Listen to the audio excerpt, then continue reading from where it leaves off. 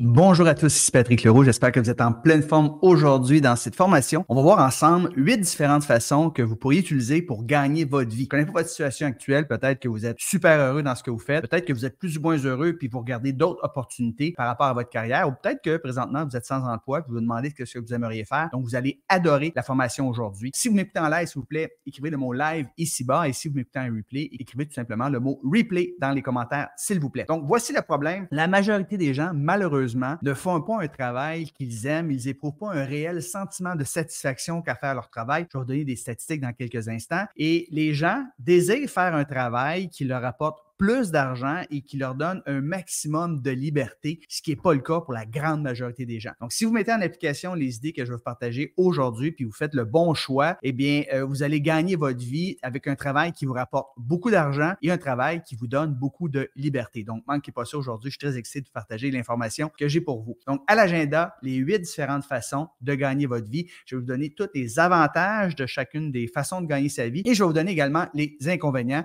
Donc, toutes les façons pour gagner sa vie. Il y a des avantages et des inconvénients. Et je vais vous dire, évidemment, c'est quoi ma façon préférée pour gagner ma vie? Le meilleur choix, selon moi. Donc, statistique, environ 93% de la population active travaille pour un employeur, soit une entreprise, un gouvernement, une organisation non lucrative, tandis que seulement 7% des gens environ qui travaillent à leur compte. On va voir, il y a différentes façons de travailler à son compte, mais c'est quand même 93% de la population qui ont choisi de travailler pour quelqu'un d'autre. Et voici une autre statistique. En 2024, seulement 20% des travailleurs déclarent être passionnés par leur emploi. Ça, ça veut dire quoi? Essentiellement, si vous leur donnez 10 euh, millions de dollars à ces gens-là, ben, il y a 80% des gens qui vont sacrer le camp. Donc, ils sont là juste pour des raisons économiques, ils n'ont pas une passion par rapport à ce qu'ils font. Et ça, moi, je trouve que c'est d'une tristesse absolue. Euh, la vie est tellement courte, il faut choisir de faire un travail euh, qui nous rend heureux, qui nous passionne. On passe la moitié de notre vie éveillée à travailler, donc aussi bien choisir quelque chose là, dans lequel on s'accomplit. Mon nom est Patrick Leroux, si vous ne me connaissez pas, je suis coach d'affaires, entrepreneur, et moi, j'aide les experts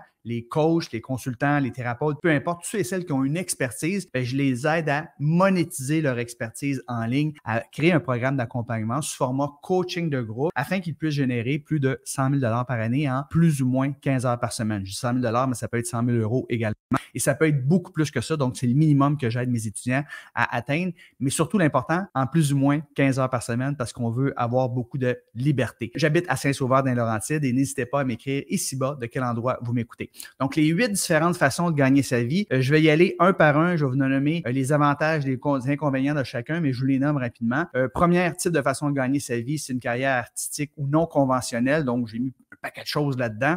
99% de la population, c'est pas d'intérêt pour eux, mais quand même, il y a des gens qui gagnent leur vie de cette façon-là. Un emploi traditionnel, j'ai mentionné tantôt, 93% des gens, c'est leur façon de gagner leur vie. Maintenant, ça peut être une profession libérale, ça peut être un vendeur à commission à 100% ça peut être un entrepreneuriat classique, je vais vous dire de quoi il s'agit. Ça peut être service conseil ou travailleur autonome, investisseur et finalement coaching de groupe en ligne. C'est ce que je fais et vous allez voir que c'est de loin mon préféré. Je vais vous dire toutes les raisons pourquoi vous devriez vous également lancer votre propre entreprise en ligne. Donc, on commence immédiatement avec la première façon de gagner sa vie, c'est d'avoir une carrière artistique ou non conventionnelle. Donc, si j'ai mis plusieurs choses euh, dans cette catégorie-là, on va voir ça ensemble. Premièrement, vous pouvez être un athlète de haut niveau. Donc, gagner sa vie en pratiquant un sport de haut niveau professionnel, comme un joueur de hockey, de football, de basketball, de tennis, des athlètes olympiques qui ont des sponsors. Bref, c'est pas donné à tout le monde. Souvent, ces gens-là ont commencé il y avait 4 ou 5 ans, ils ont mis comme 15-20 ans avant d'arriver là. Puis même à ça, c'est la crème de la crème qui peuvent vraiment euh, très bien gagner leur vie. Par exemple, les joueurs de tennis, par exemple, juste le top 100 mondial, je pense qu'ils gagnent très bien leur vie. Là, pour les autres, là, euh,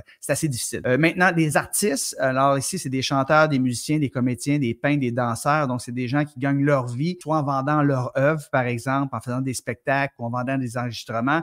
Donc, encore une fois, c'est pas donné à tout le monde d'être un artiste. Il y a souvent, encore une fois, des, des, des années et des années de travail derrière leur art. Il y a une autre façon de gagner son argent qui est un non conventionnel, c'est quelqu'un qui va vivre de l'argent, qui a hérité de sa famille. Donc, souvent, les gens qui vont hériter, il y en a qui vont hériter un peu plus jeunes, mais la plupart des gens vont hériter sont déjà assez vieux quand les parents décèdent. Donc, euh, ça, c'est une façon de gagner sa vie. Donc, euh, c'est pas donné à tout le monde nécessairement d'avoir des gens dans notre famille qui nous donnent un gros pactole qui fait en sorte qu'on a plus besoin de travailler, euh, surtout tôt dans notre carrière. Mariage avec une personne qui est très riche et c'est se faire vivre dans le fond. Donc, moi, je conseille pas ça, évidemment, mais il y a des gens que c'est leur façon de gagner leur vie. Et finalement, la dernière chose que j'ai mis ici dans cette catégorie-là, c'est des activités légales, comme comme voler, par exemple, frauder, des activités criminelles. Donc, évidemment, on ne veut pas faire ça. Donc, je ne nommerai pas les avantages les inconvénients dans cette catégorie-là parce que c'est pas donné à 99% des gens et il y a des choses-là que c'est illégal, c'est immoral, donc on ne conseille pas du tout. Mais il y a des gens qui gagnent leur vie de cette façon-là, mais ça, c'est pas vraiment, vraiment pas à la portée de tous. Maintenant, deuxième façon de gagner sa vie, ça, c'est 93% des gens qui gagnent leur vie de cette façon-là, c'est d'avoir un emploi traditionnel. Donc, c'est euh, à temps plein, à temps partiel ou euh, de façon.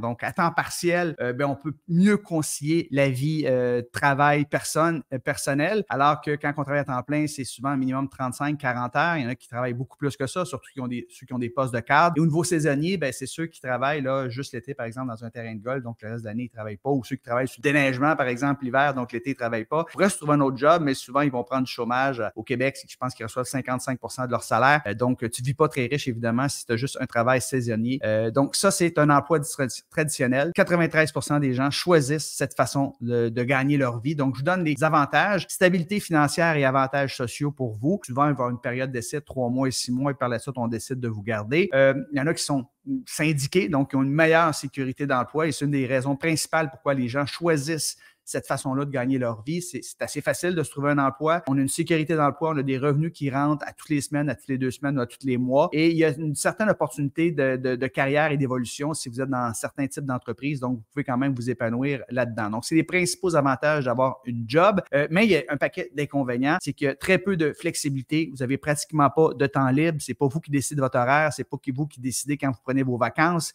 Euh, du nombre de vacances que vous avez, vous avez des revenus très limités. Alors, même les gens qui gagnent des bons revenus comme euh, travailleurs, hein, comme employés, ceux qui passent les 100 000 par année, ils sont très, très rares et souvent, ça va prendre 10, 15, 20 ans avant d'arriver à cet échelon-là. Donc, les revenus sont très limités. On est très imposé également. On ne peut pas mettre des dépenses versus nos revenus comme si on travaillait à son compte. Un potentiel d'épuisement professionnel, beaucoup de stress, beaucoup de pression. On a un patron et on dépend de son employeur. Donc, on n'a aucune ou presque euh, euh, autonomie temporelle, financière et souvent géographique, même s'il y a beaucoup de gens qui travaillent à distance, ils doivent se présenter deux ou trois jours par semaine à leur travail. Donc, bref, ce sont des inconvénients majeurs que d'avoir son emploi. Et comme je l'ai mentionné, 93% des gens choisissent cette situation-là. Maintenant, profession libérale, troisième façon de gagner sa vie, ben, ce sont des avocats, médecins, comptables, ingénieurs, notaires. C'est des gens qui ont fait quand même beaucoup d'études et qui ont la possibilité de gagner euh, beaucoup d'argent. Et c'est souvent régi par un ordre professionnel. Donc, c'est au niveau intellectuel que ces gens-là gagnent leur vie. Euh, les avantages d'avoir une profession libérale, c'est que tu peux avoir des hauts revenus. C'est assez prestigieux, évidemment. On parle souvent, les médecins, c'est numéro un dans, en termes de, ce que les gens pensent de, ce qui est un des meilleurs métiers au monde. Quoi que ces gens-là travaillent beaucoup, on, va revenir ça dans quelques instants. Certaines autonomies et contrôle de son travail, opportunités de carrière avancée et spécialisée. Donc, il y a des gros avantages que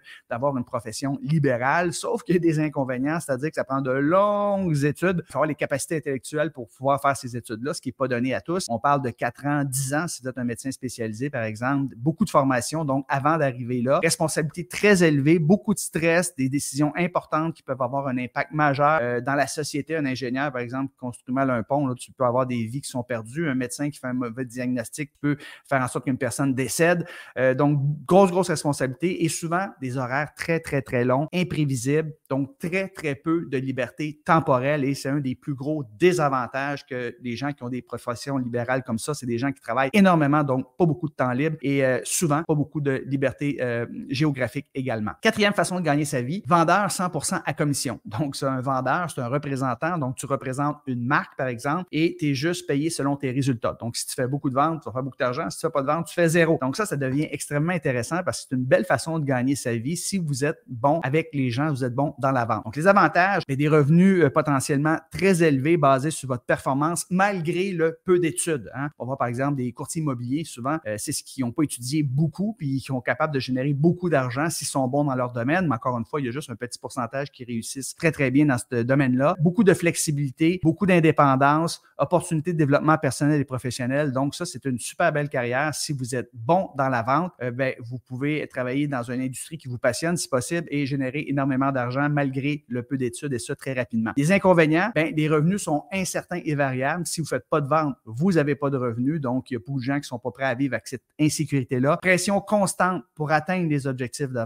et vous avez un manque de stabilité d'emploi parce que vous dépendez quand même de quelqu'un, celui qui possède le produit ou le service que vous avez à vendre. Donc, vous n'êtes pas euh, tout à fait autonome. Vous avez toujours un sentiment de dépendance et euh, la personne qui vous donne le droit de vendre son produit ou son service euh, peut mettre beaucoup de contraintes. Donc, c'est travailler à son compte, mais c'est travailler pour quelqu'un en même temps. Il y a quand même beaucoup d'avantages. Cinquième façon de gagner sa vie, c'est de partir son entreprise. Je marqué entrepreneuriat classique. Ici, vous pouvez partir votre propre entreprise. Donc, vous lancez ou gérez votre entreprise, impliquant souvent d'innovation, beaucoup de gestion à faire, ou vous pouvez acheter une franchise. Donc, c'est d'exploiter une entreprise sur une marque reconnue avec un modèle d'affaires éprouvé. Beaucoup moins risqué. Hein? Les gens qui euh, achètent une franchise, c'est un modèle éprouvé qui a des systèmes mis en place. Beaucoup plus de contraintes. Vous ne pouvez, pas vraiment faire ce que vous voulez avec une franchise. Vous devez suivre les règles de la franchise, mais beaucoup moins de risques de faire faillite alors que c'est très élevé quand tu portes ton entreprise, surtout si tu portes ta propre entreprise. Donc, il y a beaucoup d'avantages que d'avoir son entreprise. Autonomie, contrôle sur l'entreprise totale, à moins que vous achetiez une franchise, il y a un petit peu moins de contrôle. Potentiel de gain assez élevé. Euh, pas à court terme parce qu'il faut euh, rembourser l'argent qu'on a mis pour acheter l'entreprise, mais à moyen terme, il y a un potentiel de gain euh, très élevé. Il faut faire des pertes aussi. Il y a l'avantage, on va, on va le voir tantôt, le désavantage, mais aussi en vendant son entreprise. Donc, il y a beaucoup de, gens qui ont travaillé fort toute leur vie, des entrepreneurs. Euh, ils n'ont pas nécessairement roulé sur l'or pendant des années. Ils ont bien gagné leur vie, mais quand ils réussissent à vendre leur entreprise, prendre leur retraite, c'est leur fonds de pension. Et à ce moment-là, ils peuvent faire une belle retraite dorée. Euh,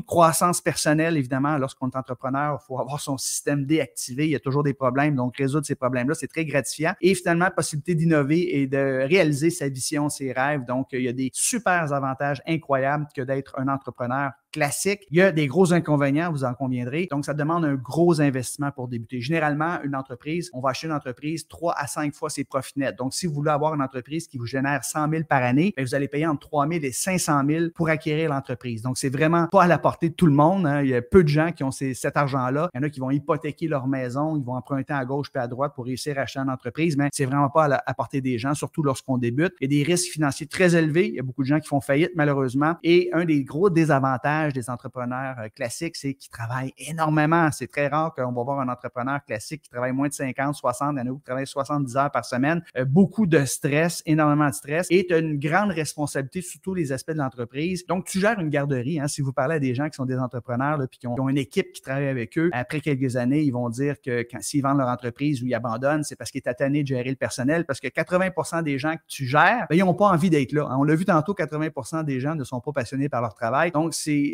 gérer une entreprise, c'est gérer du personnel, c'est très demandant. Donc, si vous êtes bon avec les gens et vous aimez ça, il n'y a pas de souci, mais si ce n'est pas votre tasse de thé, allez pas vers un entrepreneuriat classique. Donc, c'était les désavantages. Maintenant, sixième façon de gagner sa vie, c'est d'être travailleur autonome. Ça peut être des services conseils ou pas. Donc, travailleur autonome, ici, on parle de consultant, offrir des conseils euh, spécialisés dans la gestion, euh, les technologies, le marketing, la perte de poids, l'immobilier. Bref, euh, un thérapeute, un coach sportif, conférencier, un photographe, par exemple, un massothérapeute. Donc, tu es travailleur autonome, tu travailles à ton compte, mais tu n'as pas nécessairement une équipe, tu n'as pas nécessairement du personnel, tu n'as pas nécessairement dû avoir à investir pour acheter une entreprise. Tu pars à ton compte souvent à partir de rien. Donc, euh, il y a quand même très peu d'investissement. Bref, les avantages, bien, flexibilité et autonomie, beaucoup de liberté, possibilité de choisir ses propres clients, possibilité de revenus élevés malgré le fait que ça ne t'a quasiment rien coûté lancer ton entreprise. Toutefois, il y a seulement 1% des travailleurs autonomes qui gagnent plus de 100 000 par année. Donc, euh, c'est, les gens partent à leur compte en pensant vont faire beaucoup d'argent, mais c'est quand même beaucoup de travail. On va voir tantôt le nombre d'heures que vous devez y consacrer. Et il y a quand même des belles opportunités de développer une expertise puis un réseau lorsque tu travailles à ton compte. Mais ce qui motive surtout ces gens-là, c'est la liberté. Maintenant, les inconvénients, bien, revenus variables et dépendants de tes clients, évidemment. Nécessité de se vendre et se pouvoir constamment. Il y a des gens qui ont de la difficulté, ils ont un certain malaise qu'à se vendre. Donc, c'est pas nécessairement pour vous. Manque de sécurité d'emploi et de stabilité financière. Les revenus des travailleurs autonomes, c'est souvent comme ça. Euh, tu échanges ton temps contre de l'argent.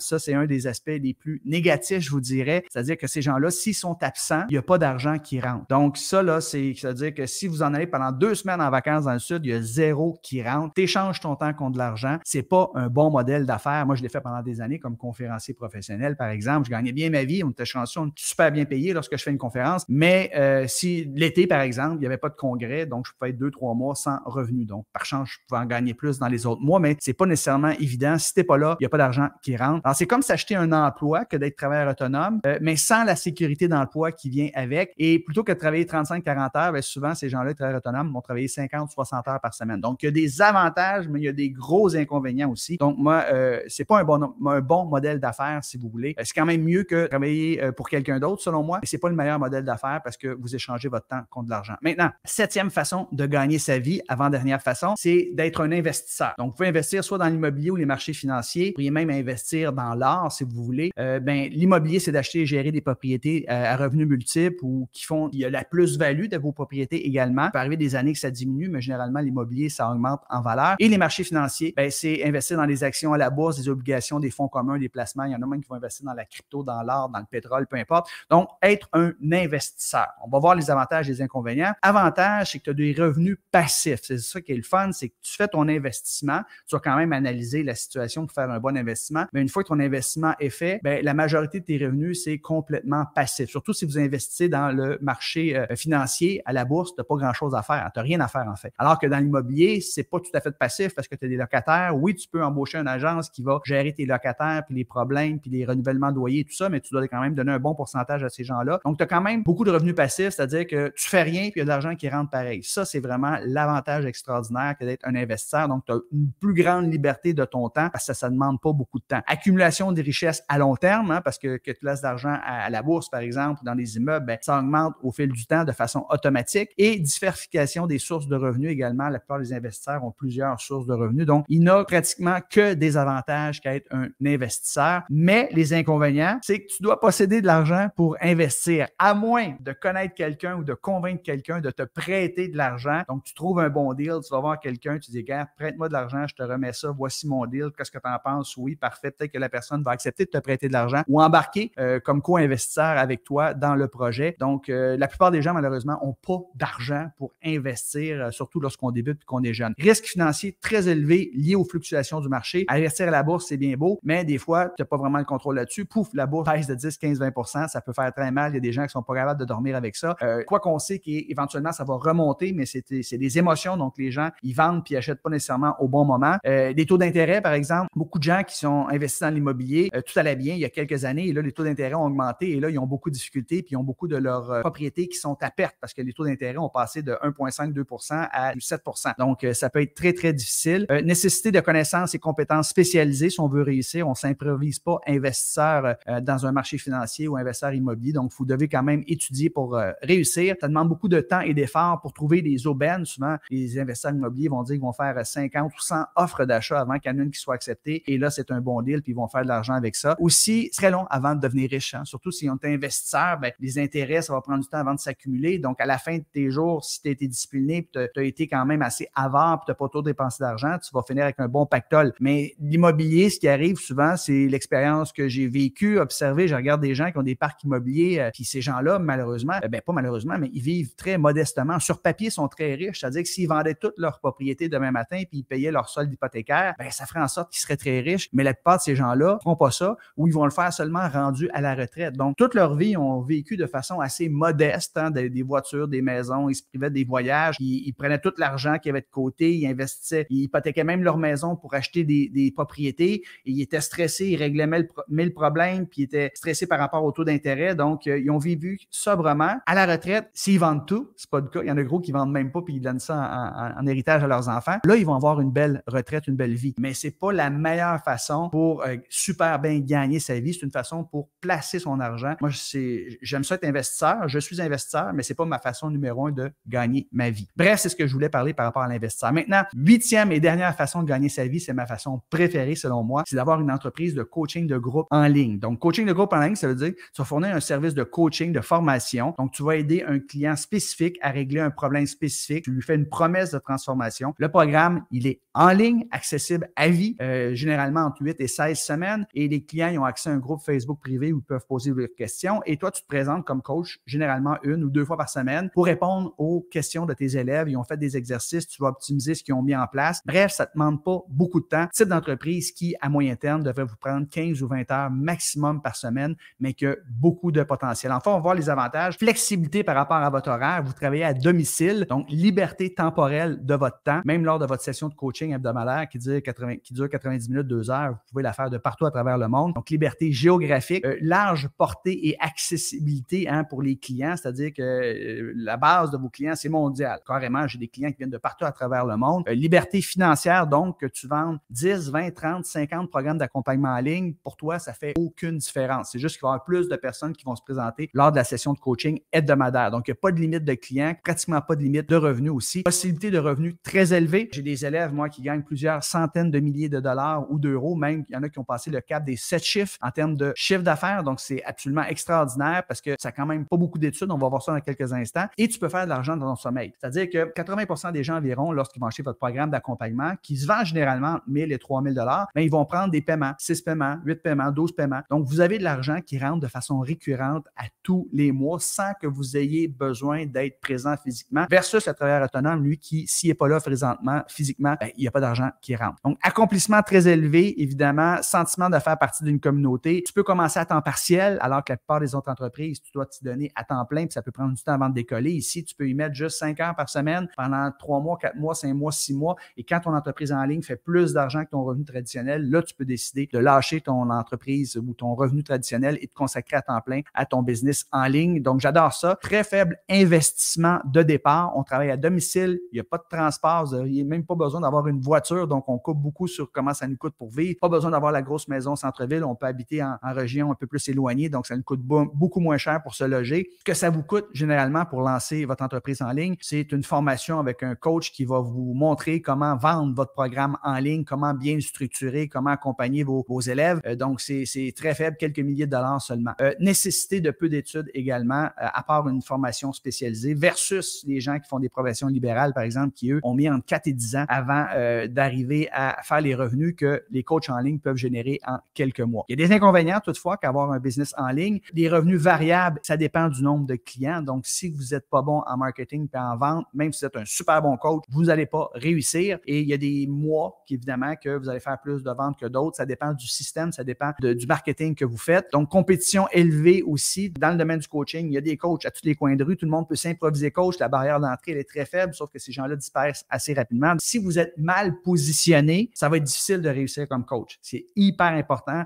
d'être en mesure de bien vous positionner. 95% des coachs, malheureusement, ont un mauvais positionnement. Nécessité d'avoir des compétences en marketing, en vente et en technologie. Donc, c'est une des choses les plus importantes. Si vous devez investir, investir dans un coach qui va vous montrer comment vendre votre programme d'accompagnement en ligne. Souvent, ces coachs-là, ils vont offrir des garanties de satisfaction et des garanties de résultats. Donc, il n'y a aucun risque. Si ces coachs ne vous offrent pas ça, embauchez-les pas. Mais oui, vous devez avoir certaines compétences en marketing, en vente et en technologie. Et aujourd'hui, c'est du plug and play. C'est vraiment facile, les technologies. Euh, moi, j'utilise deux outils essentiellement là, qui fait 90% de ma business et un enfant de 12 ans pourrait les utiliser. Une fois que tu sais comment les utiliser, c'est comme d'apprendre à faire du vélo, par exemple. Et tu peux pas vraiment vendre ton entreprise. C'est un des inconvénients. C'est-à-dire que c'est toi le visage de ton entreprise, tu accompagnes les gens. Donc, si tu décèdes ou si tu décides de prendre ta retraite, ça va être très difficile pour toi de vendre ton programme d'accompagnement. Euh, tu pourrais toutefois vendre ton groupe Facebook privé, par exemple, parce qu'un groupe Facebook privé, c'est jamais à propos du coach, c'est à propos du résultat recherché par ton avatar. Donc, si tu as bâti un groupe Facebook privé de 10 000 personnes, par exemple, c'est 10 000 prospects qui sont intéressés à un sujet X, bien, il y a certaines personnes qui pourraient être intéressées à acheter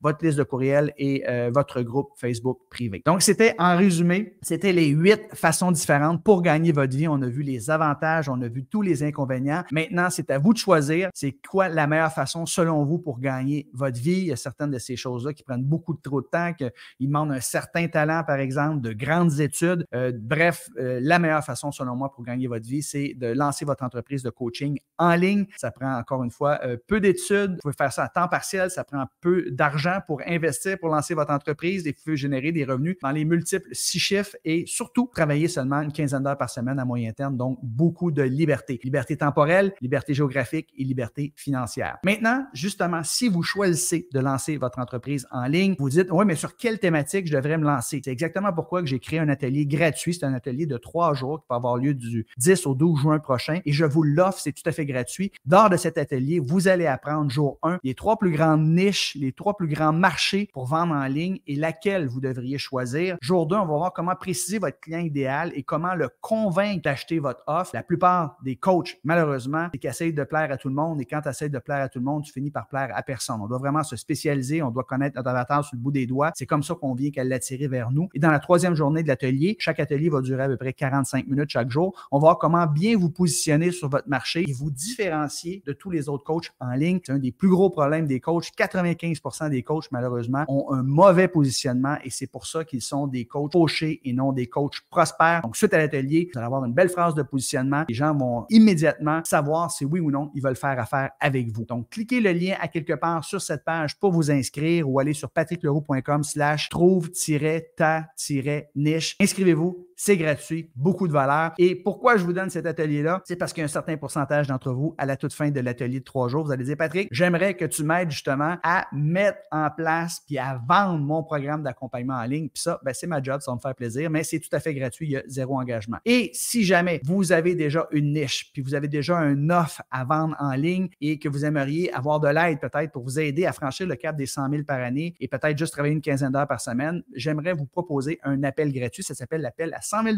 Donc, cliquez sur le lien à quelque part sur cette page ou tout simplement euh, écrivez le mot appel dans les commentaires. Je vous enverrai mon calendrier. Vous allez choisir la date et l'heure qu'on vient le mieux. On va jaser 40-45 minutes et vous allez me parler de votre thématique, votre avatar, vos objectifs, vos défis. Bref, je vais vous donner un plan d'action suite à ce que vous allez m'avoir dit pour vous aider à développer votre business en ligne qui va vous apporter plus de 100 000 par année en plus ou moins 15 heures par semaine. Et à la toute fin de notre euh, rencontre ensemble, si j'estime qu'on est un bon fit et avec votre permission seulement, ben, je pourrais vous parler comment je peux vous accompagner davantage. Mais la consultation d'affaires, elle est tout à fait gratuite. Évidemment, vous aurez quelques questions à répondre avant la consultation parce que je vais être certain que je peux vraiment vous aider durant euh, ce 40-45 minutes-là. Donc, écrivez le mot appel ici-bas ou cliquez sur le lien à l'entour de cette page. Je vous remercie infiniment. Merci d'avoir été là. J'espère que vous avez aimé la présentation aujourd'hui. Je vous souhaite une belle fin de journée et bon choix par rapport à ce que vous aimeriez faire dans le futur pour bien gagner votre vie. Bye tout le monde. Ciao.